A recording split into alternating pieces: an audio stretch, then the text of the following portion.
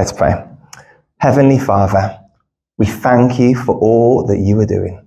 We pray that, Lord, you let your word be spoken here today, nothing more and nothing less. Holy Spirit, I ask, Lord, for you to guide and to lead me and to lead us in the direction that you have. I pray, speak unto us. I pray, teach us. I pray that, Lord, you would walk with us and show us how to live with you and for you. In Jesus' name, amen. amen. John chapter number 9, verses 1 to 3 is our place where we're going to begin today. And we're going to have a look at one man and one miracle. And the reason we're going to be looking at this story in particular is because of what happened yesterday when I went outside on the streets of Birmingham. Now, I wasn't going out there to evangelize. Actually, I was trying to go to the library to sit down and to read and just to go over this message in my head and my heart. But when I got to Birmingham City Council and the library, guess what? It was shut. 5 p.m. on a Saturday, it shuts. Um, what good is it having a nice new library if it's not open? Anyway, let's get out there. Let's get back into the text. Now, Jesus passed by. Here he saw a man who was blind from birth. And his disciples asked him, saying, Rabbi, who sinned, this man or his parents, that he was born blind? Jesus answered, Neither this man nor his parents sinned, but that the works of God should be revealed in him. Let's just stop there. Remember, we spoke last week about people having this idea that if a bad thing happens to you, it's because you've done some terrible thing and karma is coming back upon you. And I, I hate that saying of karma, but that's what I'm going to call it because they weren't thinking correctly. Exactly the same thing's happening. They have this idea that any sort of ailment or disability is the result of sin. That is not the case whatsoever. In this passage, it tells us that this man was born blind, not because of his sin or because of his parents, but that the works of God could be revealed in him. God had allowed this man to be in that place for God's purpose and God's glory. I know people that are a walking testimony of the glory of God. Their conditions that they have been born in or that they have found themselves fall into has caused them to have to lean on God.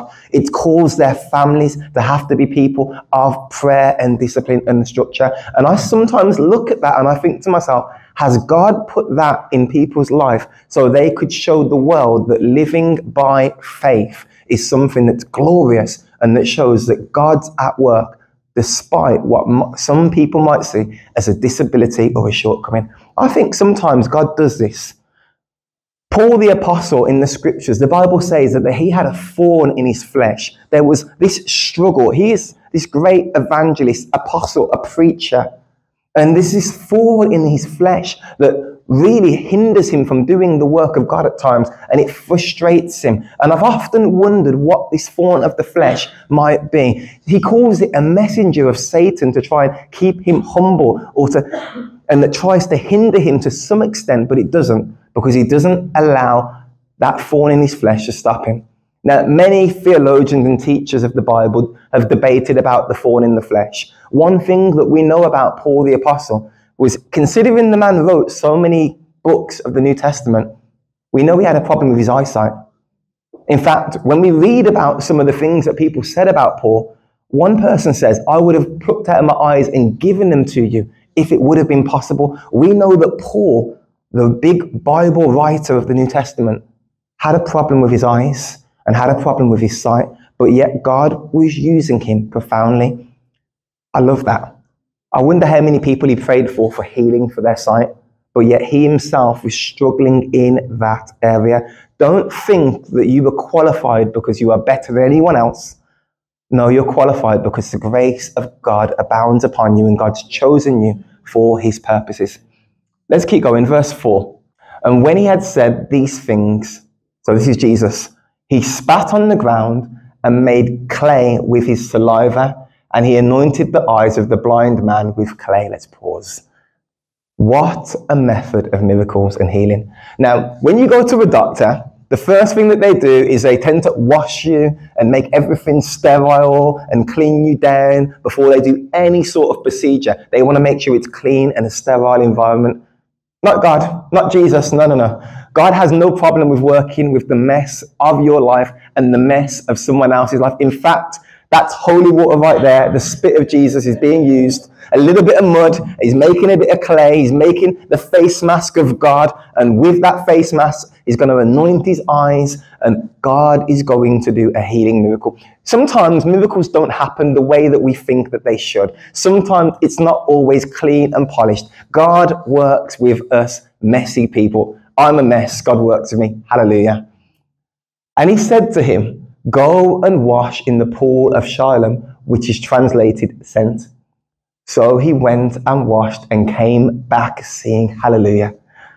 Go wash. It's, Jesus didn't even finish it there and then. He spat on the floor, wipes it in the guy's eyes, and then he sends him away, still blind. Now go find that pool of water.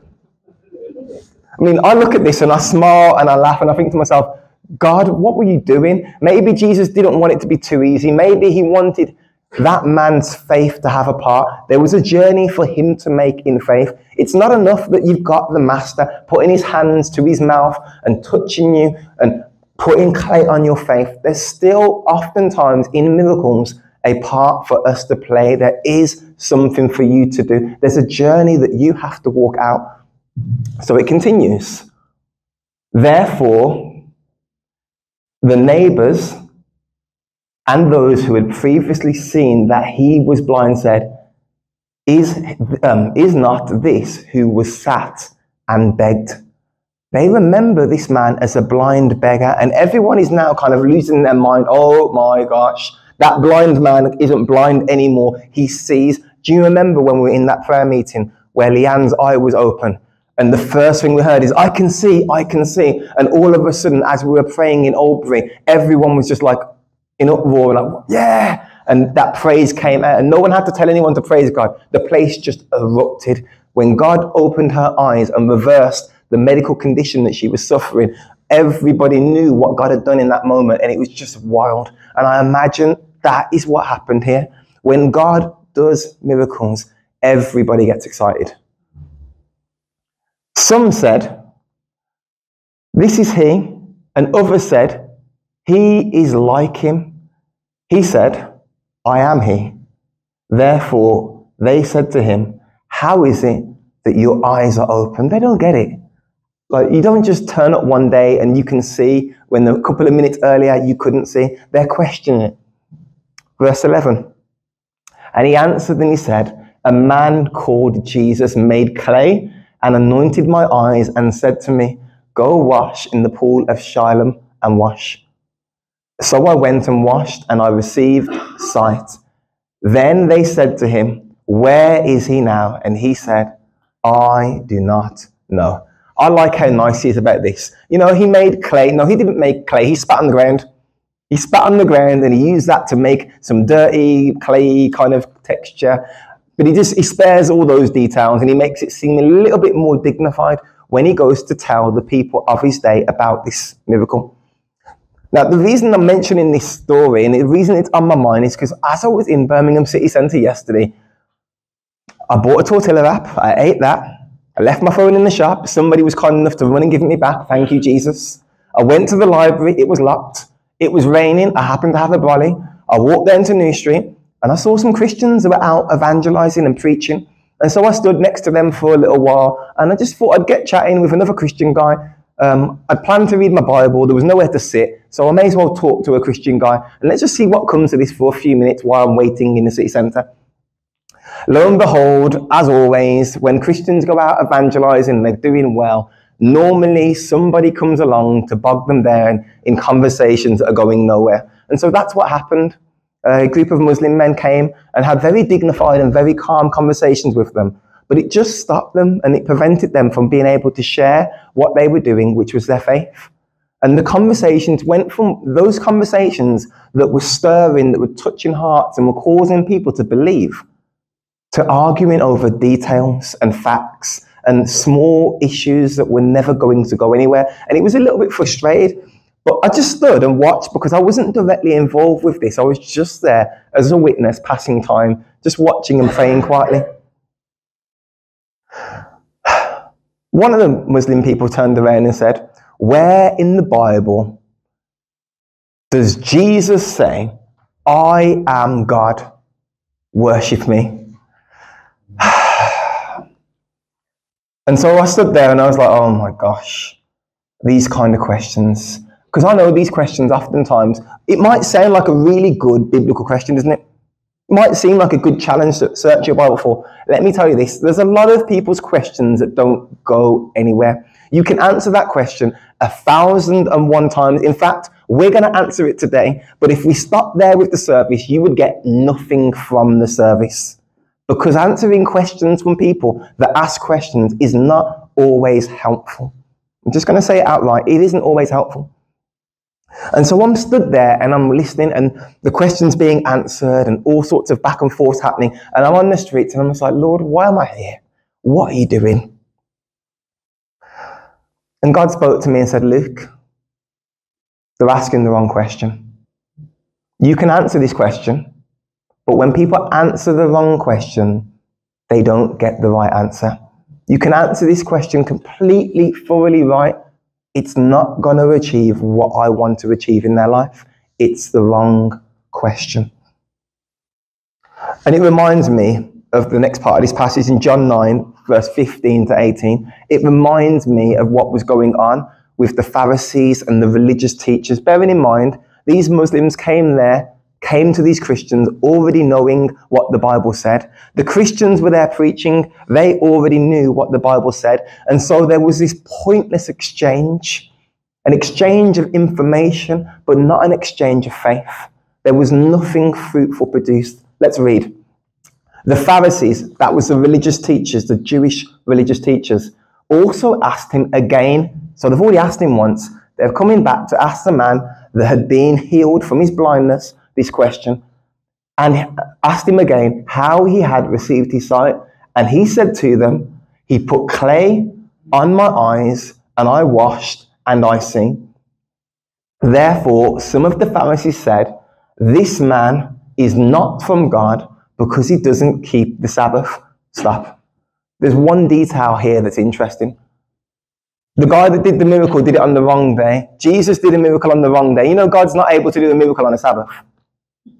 Yeah, you know, God has to rest on the Sabbath. You shouldn't even get out of bed. It's a Sabbath, don't do anything. God's not able to work on the Sabbath day. This is their understanding of the Bible. This is their understanding of the scriptures. They have read the Bible. They read that God rested on the Sabbath day. And now, when something dramatic and a miracle happens, they can't give God the credit because it's a Sabbath day and God has to rest on a Sabbath day. This is the kind of place that I worry that we can get ourselves into as believers.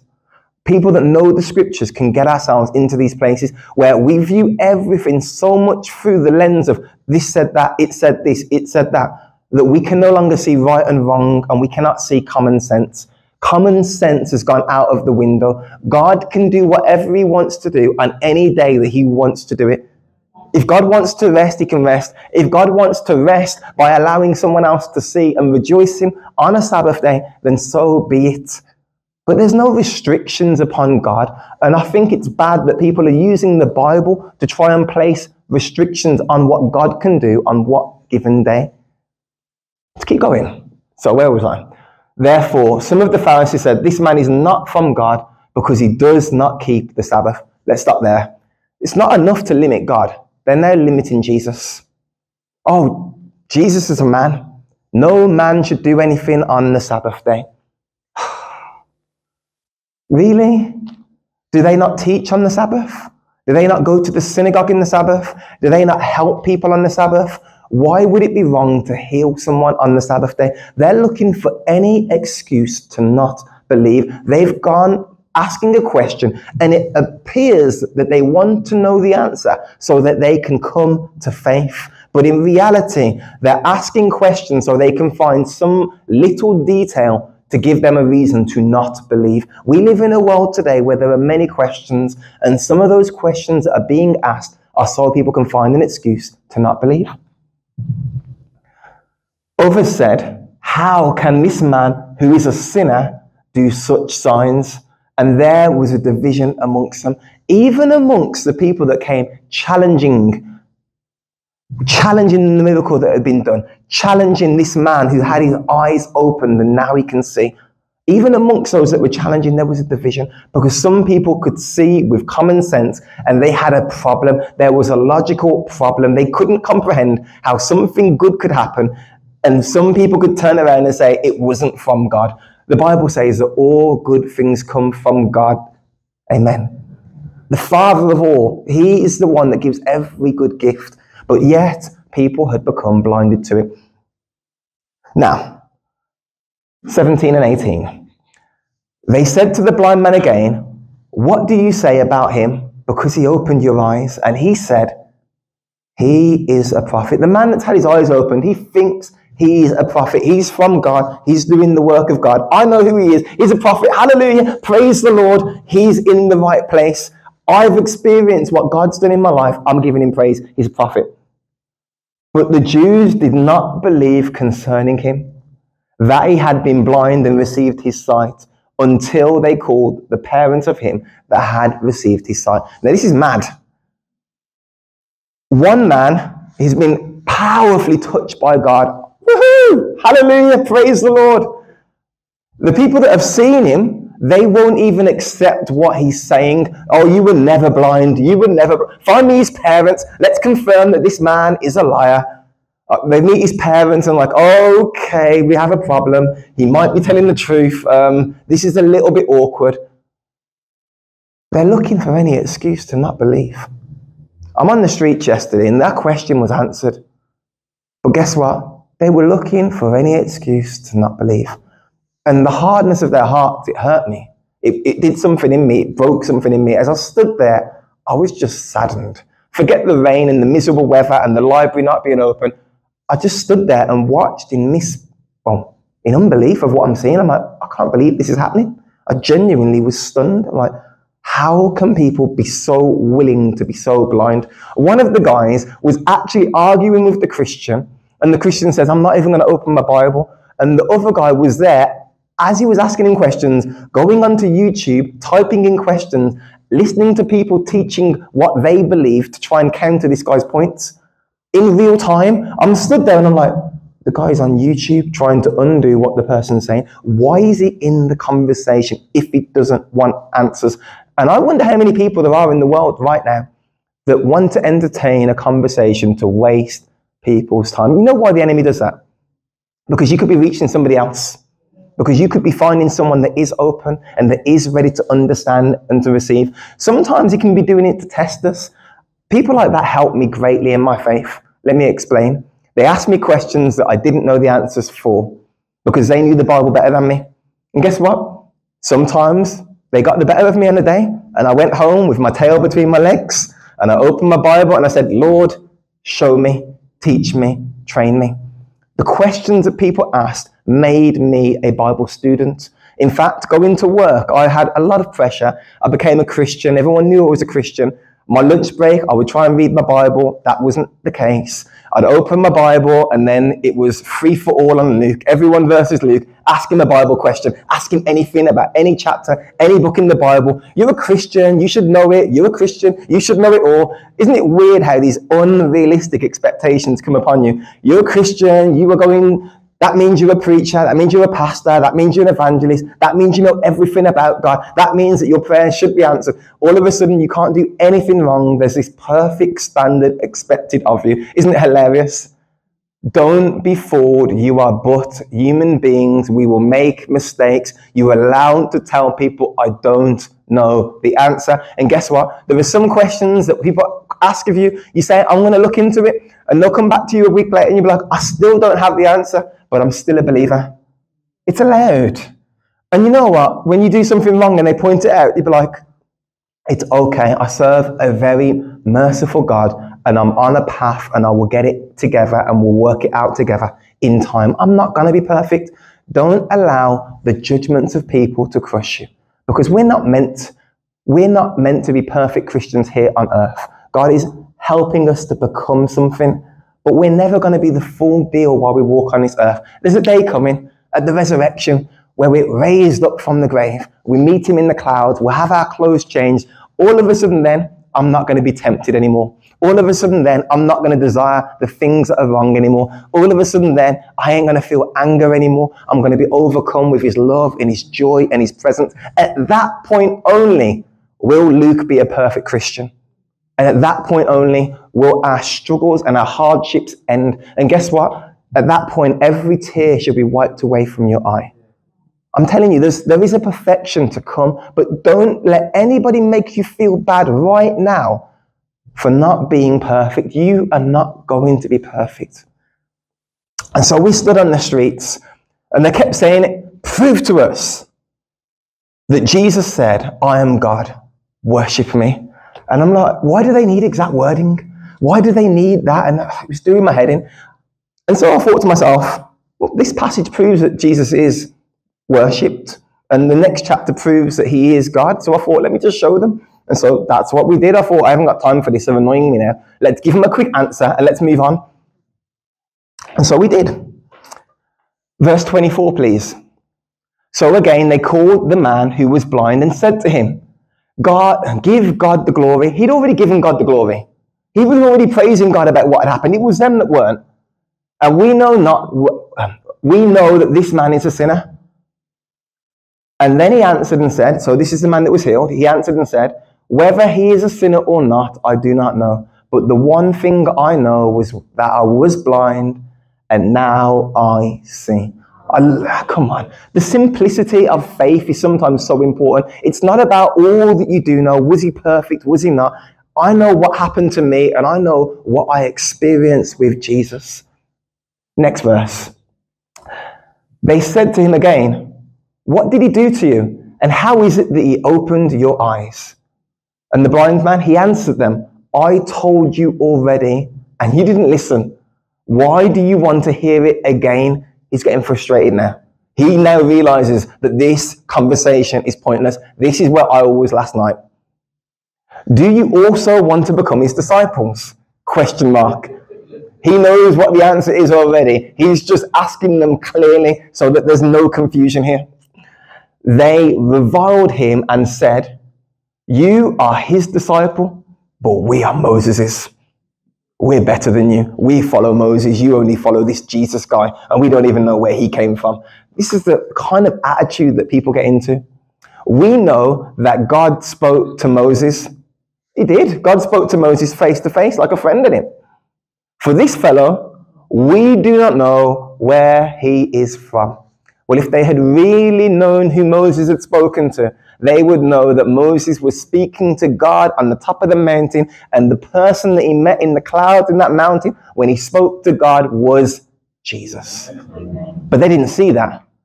We follow Moses. Well, I follow the one that Moses spoke to. Mm. You know, you see, this is sometimes people get so caught up in what they're trying to used to deflect away from personal responsibility for having a relationship and for having faith with God. And they're just pushing back over and over again. The man answered and said to them, Why, um, why, this is a marvelous thing. Do you not know where he is from? Yet he has opened your eyes. They're blaming the guy. Like, what do you mean you open your eyes? You mean you let someone heal you even though you didn't know where he was from? Well, I didn't really have very much choice in it. He, he anointed my eyes with clay and he told me to wash and I was healed. It's not like he had a part to play in I prevented him from healing or it's, oh, I'm sorry, it's, so, it's all my fault. I should never have let that man heal me. But they're blaming the guy. The frustration of these people has become too much. Verse 31. Now we know that God does not hear sinners. But if anyone is a worshipper of God and does his will, he hears him. Oof. Now, I'm going to be careful with that statement because it's an interesting one. God does hear people that call out to him. I'll say this, so God answers the prayers of the righteous, and God delights in answering the prayers of his children. There's a special relationship that believers have, which means that we have a clear access to God. But that doesn't mean that people that don't know God, when they cry out to Him, He's going to be like, nope, no, no, no, no, no, don't hear you, la, la, la. God's not like that.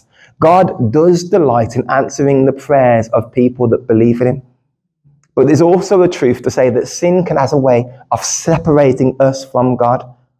But this man isn't trying to make an excuse for, for being separate from God. They're trying to say, you know what? We're better than you. God speaks to us and he doesn't speak to you. There's no reason for this to happen to you. You're not on our level. 32. Since the world began, it has been unheard that anyone opened the eyes of one who was born blind. Amen? It's a miracle. If this man were not from God, he could do nothing. And they answered and said to him, You were completely born in sins, and you were teaching us. And they cast him out. It's amazing, isn't it? You're not qualified. Can I just say something? You don't have to be qualified to speak for God. They got this completely wrong. The prophets weren't qualified. They just spent time with God. They spent time in prayer. God spoke to them and they responded and they answered. And they build a catalogue and a history of responding and hearing and knowing God. Where in the Bible does it say that anyone became qualified to speak with God? It doesn't happen. Oftentimes God spoke and they said, Here I am, here I am.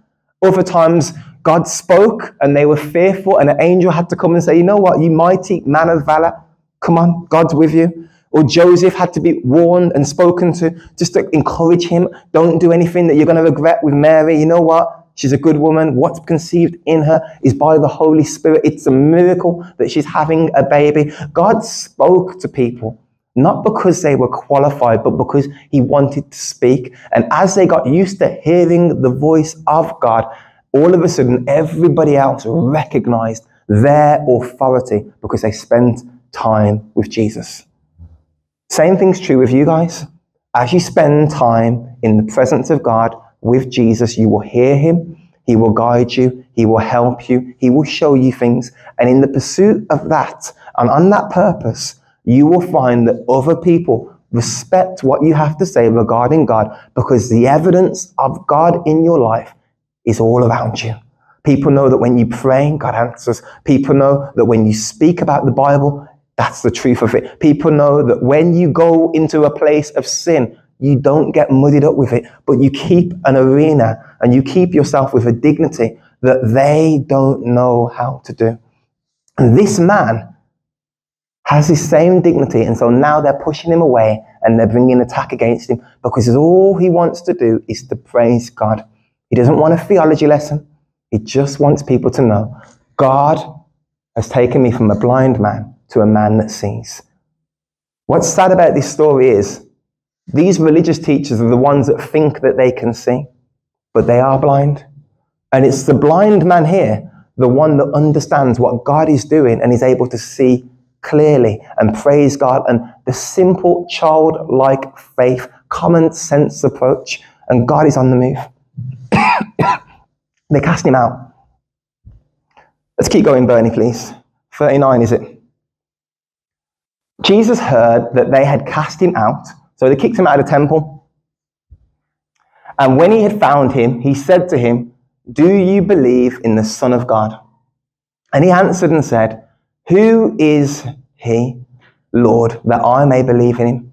And Jesus said to him, You have seen both him and he is who is talking to you now. Then he said, Lord, I believe, and he worshipped him. This man, when he asked the right question to the right person, got the answer that said that Jesus is Lord. And at that moment, he fell down on his knees and he began to worship him. Jesus does not say, Don't worship me. This is the first part of the answer to the questions of those men on the street. Where does Jesus say, I am God, worship me? Well, here he says, I am Lord, and he's worshipped, and Jesus isn't trying to stop him. Oh, okay, okay, so he was worshipped there, but he doesn't say, I am God. He says, I am Lord. Okay, okay. All right, you want to see where Jesus is God then? All right. Let's go to John chapter 10. And there's a little passage there where Jesus proves that he's God. John 10, verse 32 reads Jesus answered them and said, Many good works I have shown you from my Father. For which of these works do you try to kill me or stone me? The Jews answered him, saying, For what good work? For a good work we do not stone you or try to kill you. but for blasphemy and because you, being a man, make yourself God. Stop. Blasphemy is to lower the name of God, is to speak negatively of God. It is to lower God's reputation and status. They're accusing Jesus here of blaspheming the name of God because he is claiming that he is God. Thus, in their mind, he's lowering the standards of God. Everybody see that? Let's keep reading on that. Being a man, you, for a good work, we do not stone you, but for blasphemy, because you, being a man, make yourself God. Jesus answered them and it is, is it not written in your law, I said that you are gods? Verse 35. If he called them gods to which the word of God came, and the scripture cannot be broken, do you say of him whom the Father sanctified and sent into the world, you are blaspheming because I said that I am the Son of God? 37, please. If you do not believe the works of my Father, do not believe me. But if, but if I do, though you do not believe me, believe the works, that you may know and believe that the Father is in me and I am in him. Let's just stop. Jesus said, These people are trying to blaspheme me. Jesus is, they're saying to Jesus, You've blasphemed. Jesus is there saying, I am in the Father and the Father is in me. If you've seen Jesus, you have seen God. If you want to know the Lord, then guess what? Jesus is Lord. Jesus is saying, if you've met me, then you have met God. And their minds are boggled and exploding. So now these people rightly choose to accept that Jesus is claiming to be God. And so what do they try to do? Kill him. And I'm on the streets and we're talking and we're getting nowhere because the second that we prove Jesus is God, they were like, yeah, but Jesus wasn't really God. That's why they tried to stone him. I'm like, but that's what you asked me to prove. But the Jews didn't accept that. We know the Jews didn't accept it. The Bible says that. But that's what Jesus has said. That's what he's claimed. That's what they understand it. Jesus is Lord. Sometimes you can answer questions and get nowhere. So it kind of brought me back to something that was asked at the Bible study on Wednesday. Wednesday night we were there, and the question was asked of me how, what, what, what does God want of me? What does God want of me? I want God to show me how I should behave, how I should live, how I should relate to people. And when the lady said it, I think it was Sophie, her words just struck me because it, there was such a pure and innocent question that was being asked. It wasn't anything trying to escape anything. It wasn't anything theological. She just wanted to know what is it about Christians that makes Christians who they are, who they claim to be. And I like questions like that because we can learn a lot from them. You see, I was thinking about all sorts of different ways I could answer that. And the one thing that just struck me was Christianity is a relationship with God. Now we have to be careful about what the relationship with God looks like because so many of us think that relationships don't have rules. they do. There are boundaries to relationships. When you break someone's boundaries in a relationship, guess what? You're getting the cold shoulder. If you break a relationship too far, it's gone. You will never be together again. If you're married and you cross a certain boundary of that wife or that husband and you go too far, they may choose to never accept you back again.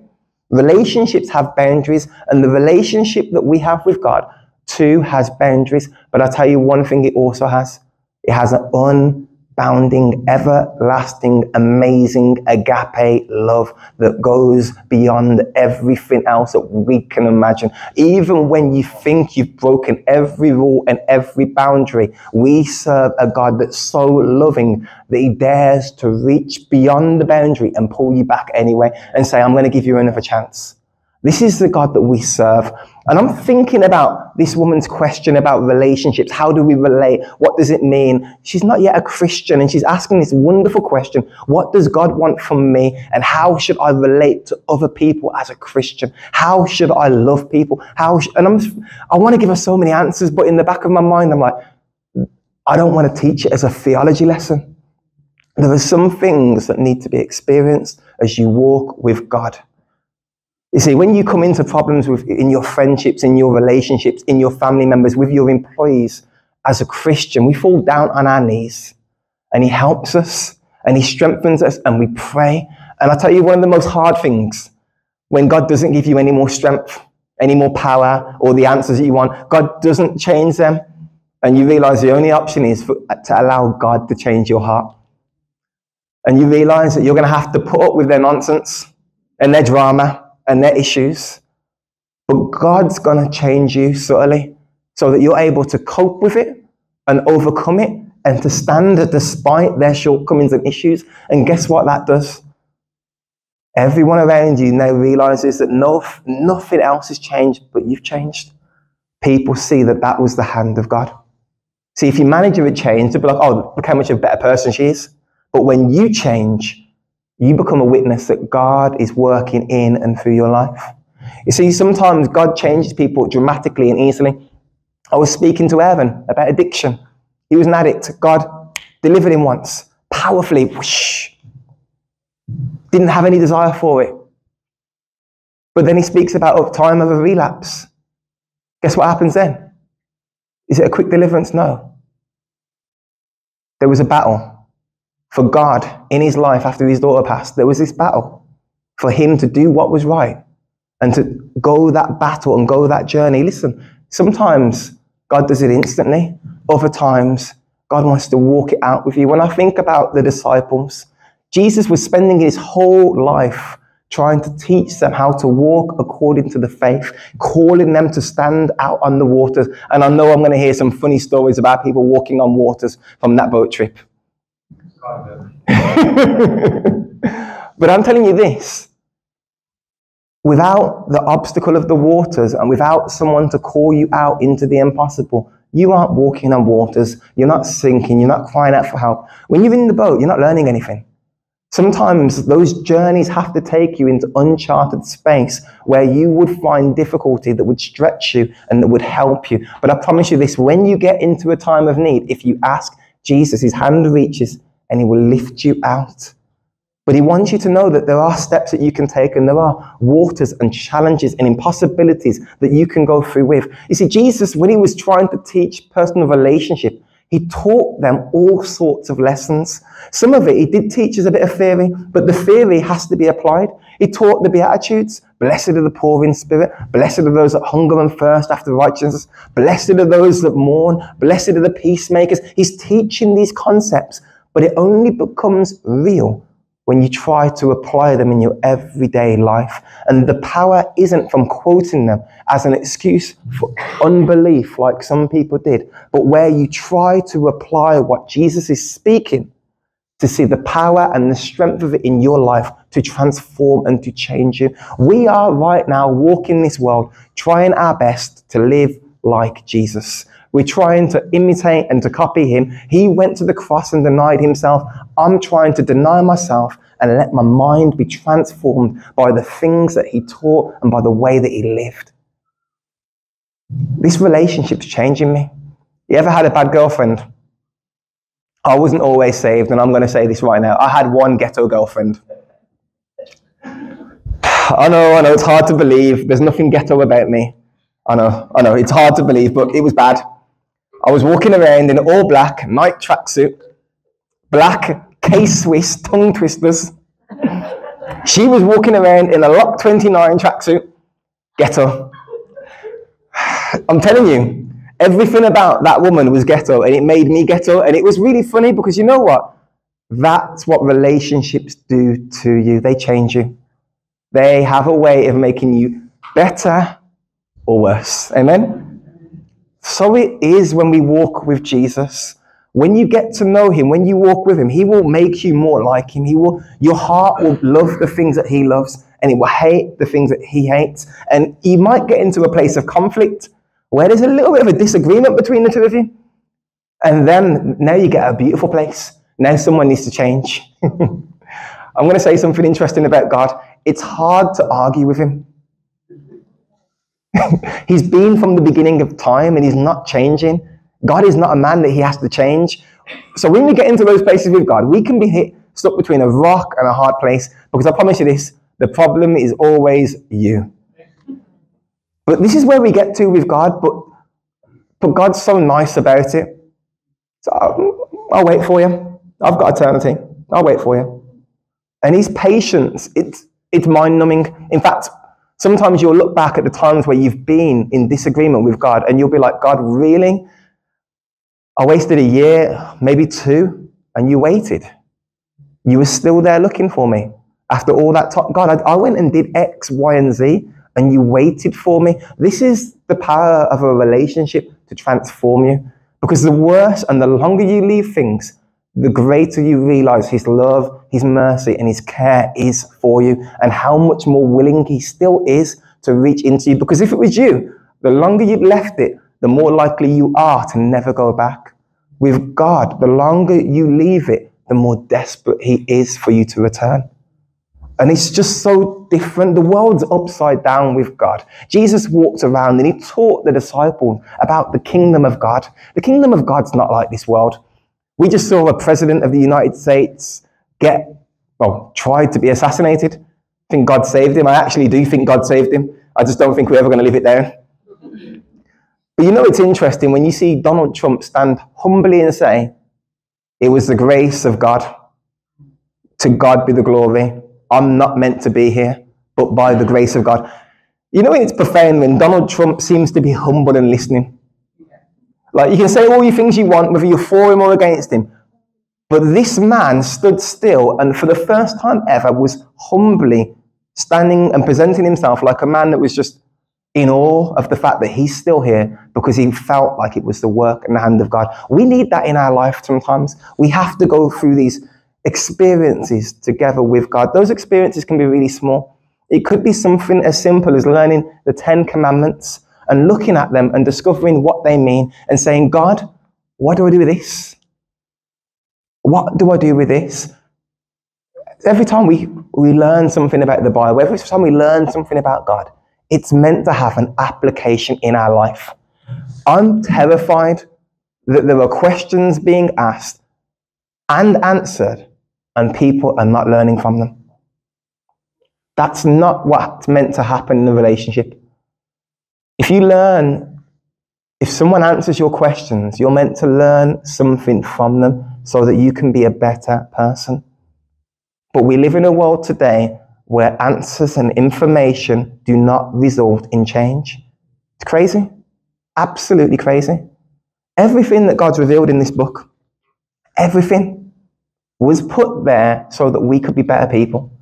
It was put there so that we could hold a better relationship with God. But somewhere along the line today, people don't want to hear. Let's talk quickly about hearing from God. I believe that every Christian wants to hear from God. Who in here wants to hear from God? Raise your hand. I know we all do. You know what that takes? It sometimes takes a place of risk and obedience. You know the place where I learned to hear from God most? When I started stepping out when God spoke to me. And guess what? I very quickly realized when it wasn't God. Very quickly. In fact, one of the things that more recently God has had to teach me was how to hear when He says no. uh, amen. And I'll tell you this. I'll tell you why I didn't like it. I didn't hear it. Because I never wanted to hear God say no. I, you know, you don't want to hear that answer. And so you don't hear it. But very quickly, I've begun to realize that sometimes God says no. And sometimes you will hear it. Sometimes you can be a bit more stubborn and you have to feel it. Last night, I went home. In fact, on the bus on the way home, Rayma, you'll be there. I started to have a headache and I started to see lights dazzling in the corners of my eye. And I was like, oh, I'm getting a headache. I went home and I went to bed. I closed my eyes and I could feel the pressure behind my head. And I was like, and I started trying to rebuke it like, like it was the enemy. Lord, I take, take this thing from my mind. If it's the enemy, Lord, let this attack stop in Jesus' name. And I lied there and nothing happened. I did it again just for good measure. Nothing happened. And I lied there. I got up. I took a couple of paracetamol and I went back to bed. I woke up in the morning at about 2 a.m. and I was like, the headache had gone. And I stopped and I was like, I prayed and I was like, God didn't want me to say that message that I was going to preach today. But because I didn't want to hear it, God had to get my attention for a means that I didn't like. I went for a job interview once I applied for a job, everything looked fine. I thought to myself, I'm guaranteed to get this job. The day before the job interview, guess what? I was bedbound. The day of the interview, I dragged myself to that job interview. I'm going to get that job. I'm going to get that job. I don't even think I was fit to drive my car. I turned my head and the room was spinning. I don't know how I was driving, but I went for the interview anyway. Didn't get the job. I'm not surprised I didn't get the job. I was walking up the stairs when they gave me a tour of the school, holding onto the rail like this. They're probably thinking this guy is all over the place. He's not fit to be here, let alone work here. Um, but because we don't want to hear God say no. Paul didn't want to hear God say no. Don't think you're in bad company. Paul wanted to plant a church. He wanted to touch into a nation. And God had to close the door on him to stop him from going there because Paul being that kind of a man, he would have went there anyway and he would have done the work for God. But God said, no, experience, the experiences that we have with God teach us and refine our discernment about when God is saying yes and when God is saying no. We learn different ways that God will speak to us. There will be people in here God will speak to with dreams. If you know me, I do not dream ever.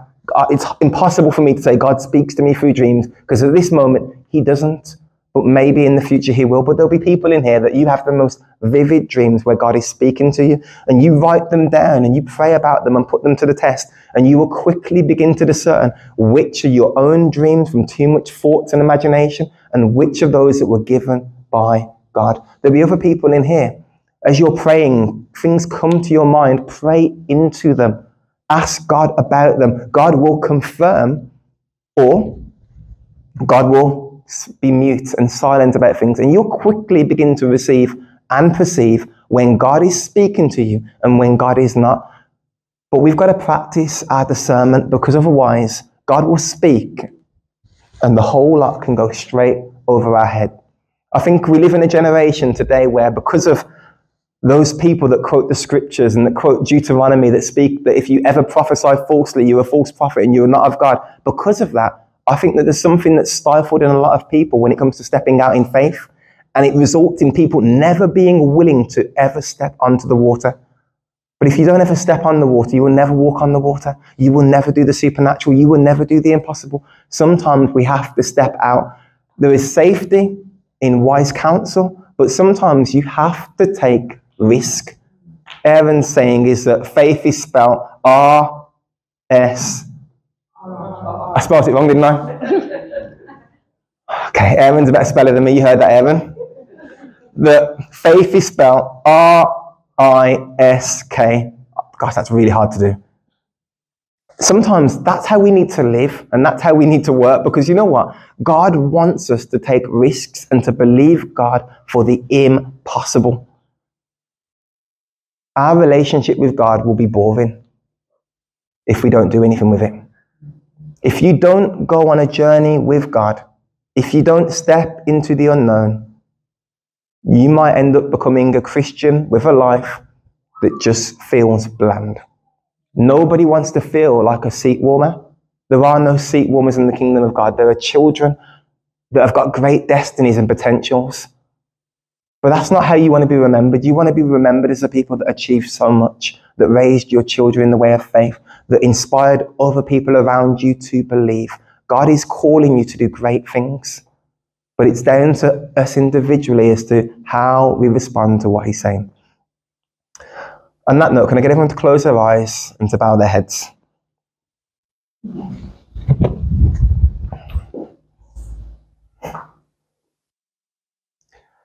Sadly, today I've spoken a lot about people that would not hear from God and I've showed you that there's the strategy that they took in scripture.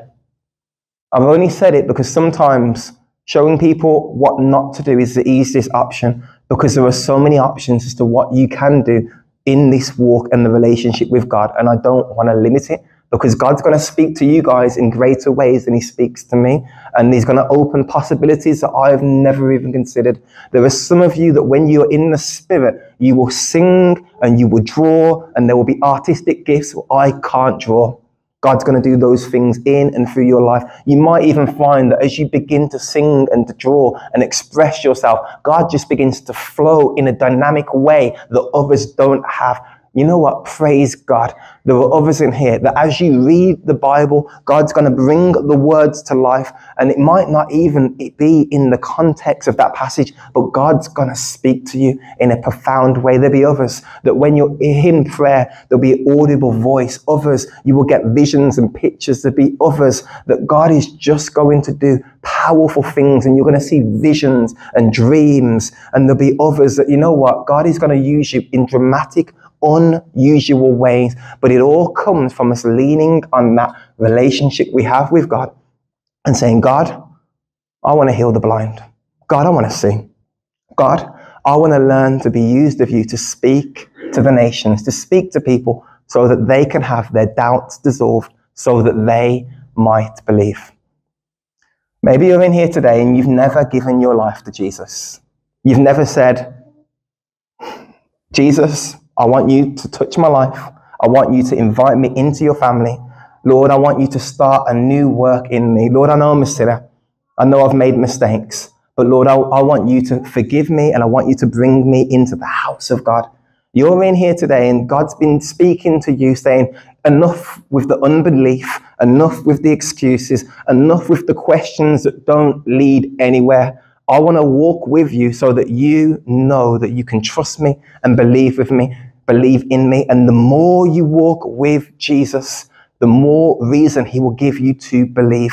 I promise you this is all you have to do is start the journey and he will give you every reason to believe. He will answer your prayers. You will see that he is good. You will see that he is there for you. You're in here today and you've never given your life to Jesus, but you'd like to come to know Jesus. You'd like to follow him. Just put your hand up in the air and God will see that and God will answer you. Praise the Lord. I see that hand. Thank you, Jesus. Thank you, Jesus. Thank you, Jesus. Thank you, Jesus. Is there anyone else in here just before we move forward? Hallelujah. Thank you, Jesus. For that person that raised your hand, I just want to pray for you. Father, I just pray, Lord, for our brother, that Lord, we thank you for the decision that he made here today. Father, I pray that, Lord, that you would touch him. I pray that, Lord, you would do a new work in his life. Lord, we pray that, Lord, you bring him from darkness into the glorious light. Father, I pray you speak to him. I pray that you move him. I pray that you inspire him. Lord, I pray that, Lord, that you would walk there beside him as a friend and gradually change him in the same way that you changed me and you have everyone else in this room. Father, we thank you that we have a relationship with you and that, Lord, you're helping us move forward together with you. We praise you and we thank you for the blood. We thank you for your resurrection. We thank you for the price that you paid so that we could be freed from this world and that we could live for heaven. And Father, I just want to ask the Lord, that you just welcome him into the family of God. Pour your Holy Spirit into him. Lead him and guide him. I pray for the voice of God to be made clearer and clearer and help him in those first days to take those first steps Lord, till he gets his balance. And then, Lord, I pray, God, teach him to run, teach him to stand. Lord, raise him up as a man of faith. And I pray that, Lord, you bless him and his household and his family. I pray that, Lord, let your hand be upon him. I pray, Lord, let the enemy, let it not be able to hold him back. I pray, Lord, that every attachment and every attack of the enemy, let it come up to nothing. For you work all things together for him now because he's called according to your purpose. I pray that Jesus, that you be magnified in him. Show him that he is strong enough to overcome the world, for greater is he now that you live in his heart and in his life. In Jesus' name. We're going to hand it over to the worship team. Praise the Lord.